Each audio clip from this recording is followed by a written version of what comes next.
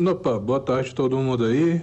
É, minha questão é o seguinte, é uma coisa que eu percebo, não sei se é verdade, mas na política parece que tem muito aquela mentalidade de time de futebol, sabe? De torcidas rivais, só que transferido isso para política, tipo, principalmente para candidatos mais, sei lá, populistas. Ah, queria saber se tem algum algum jeito de combater essa mentalidade aqui no Brasil, sei lá, se tem alguma esperança para que um dia isso vá passar. E também queria deixar uma opinião, que é que a gente devia ter continuado sendo um império monárquico mesmo, que aí a gente não teria que se preocupar em cada dois anos ter que ficar indo lá na puta que pariu, apertar alguns botões e achar que fez alguma coisa. Valeu, galera. Ótimo podcast aí. o rei decide. Como que foi a primeira parte da pergunta? É o negócio que a política virou time de futebol ah, no Brasil. Sim, sim. Eu, tenho, eu, tenho, um vídeo que eu convido todos aqui que estão nos assistindo para ir no meu canal, Professor Rock, é, que chama Por que eu não quero ser amado? E que eu falo que o, a gente trata a política ou como religião ou como futebol. Ou é torcida ou é endeusamento. Isso é muito grave. Isso tem a ver com aquele provérbio, com aquele ditado né, cultural brasileiro que tem três coisas que você não discute no Brasil: uhum.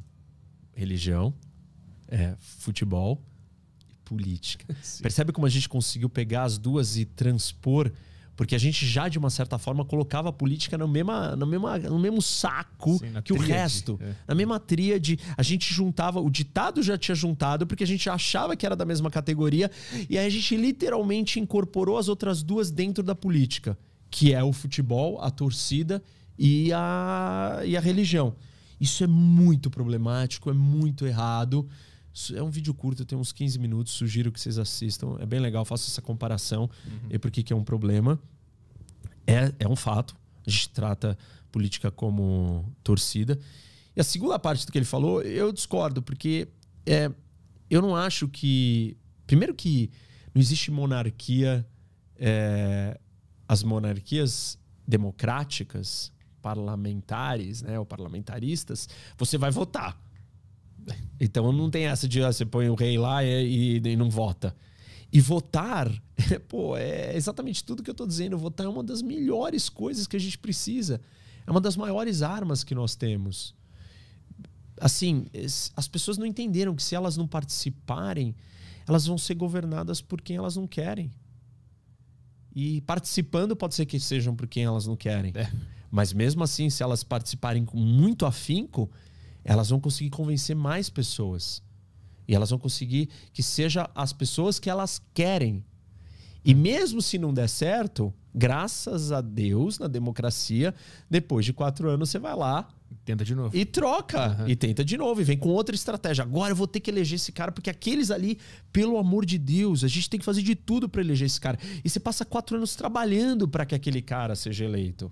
Uhum. Né? Para que aquela pessoa seja eleita, porque você entendeu que aquilo é fundamental. Então, quando as pessoas viram e falam assim: ah, vocês políticos, eu só posso falar para elas o seguinte: vem para cá. Vem, vem pro jogo. Por que você não desce pro jogo? Vem aqui jogar. Vem ser político, então. Por que você não vem?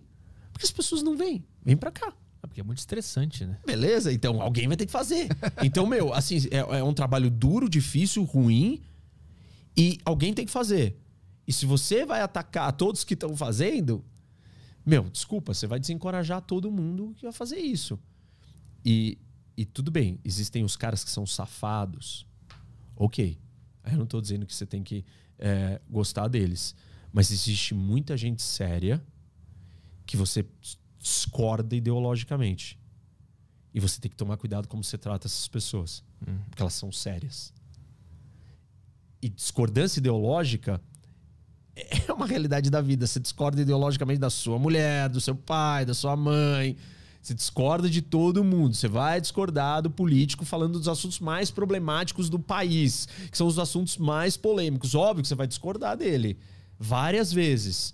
Então você tem que ter maturidade para entender. Cara, eu discordo do meu pai, mas ele ainda é meu pai, eu convivo com ele. Eu discordo desse cara, mas ele é sério. É, é, tá bom, eu concordei mais vezes do que discordei. Se eu discordei muito mais vezes do que concordei, talvez esteja na hora de eu escolher um outro. escolha um outro sério. E quando você discorda de um, de um outro que você não gosta, um outro político que você não gosta, se ele for sério, discorde com educação, com maturidade.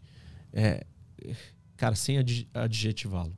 Eu queria só voltar um pouco para aquela pergunta da dinâmica de esquerda e direita ter uhum. virado o time de futebol.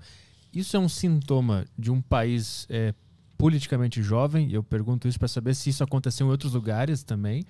E é uma fase que vai passar ou é uma anomalia que aconteceu no Brasil? Não, eu acho que acontece em todos os lugares. Ah, existe a paixão e a torcida é apaixonada, né? É, é curioso porque assim, e, e essa é uma das contradições que eu falo no meu vídeo. Você não muda de time que você torce. Ó, em dois anos eu fui palmeirense, mas agora pensando bem, você é São Paulino. Não, aí meu, agora eu cansei, você corintiano. Isso não acontece. Olha que loucura. Uhum. É uma loucura se você passar a vida inteira defendendo o mesmo político. Assim, tipo, o cara, meu, vai, volta. Você, você precisa trocar. Ele serve para um cargo, de repente ele não serve para outro. Ele serve num contexto, de repente ele não serve de novo depois de quatro anos no mesmo contexto. Ou serve. Ou ele serve para outros tipos de cargo, para alguns não. É, assim, eu não acho que você tem que ser amado. Agora, ele está performando, está entregando, continua sendo sério tal. Você está usando as métricas certas para avaliar ele, ok. Beleza, continue com ele. Mas é, não pode ser pura paixão. E aqui no Brasil é muita paixão, é muito torcida. Mas isso é uma fase que outros países passaram também? Ou é aqui que aconteceu isso? Não sei se outros países passaram. Acho que existe paixão na política em todos os lugares, porque ela mexe com emoção e não com razão. Esse é um dos grandes problemas da democracia. É, agora, eu acho que tem uma coisa mais, mais aproximada nas respostas e na reação, que aqui é um pouco mais torcida, muito, um pouco mais futebolesco. Uhum. Pela nossa proximidade com o futebol, talvez pela essa coisa cultural de misturar futebol, religião e política, não sei.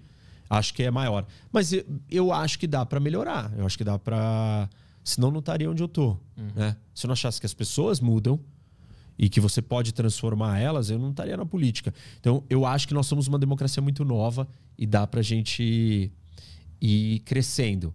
Mas é um processo lento. Porque é um processo de amadurecimento, de conscientização. Compreender que eu me comporto assim. Uhum. Olhar para mim e parar e falar, pô, mas, meu, e, e assim, eu, eu, eu, recebo muita mensagem que os caras vêm assim, me xingando.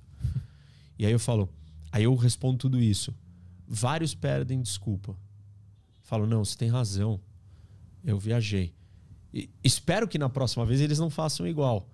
Espero que eles tenham absorvido. Ou pare e pense, é, realmente, eu não precisava ter falado isso, só discordar, trazer meu argumento, iniciar uma conversa, perguntar. Nunca ninguém pergunta, mas por que você está fazendo isso? E tenta genuinamente ouvir o, o, meu lado. Porque óbvio que eu estou vendo coisas que quem está fora não está vendo. Porque eu estou respirando isso o dia inteiro. Então eu tenho mais fatores na minha tomada de decisão que quem está do lado de fora não está. Tem que ter um, um crédito de confiança. Senão vem você fazer o que eu estou fazendo.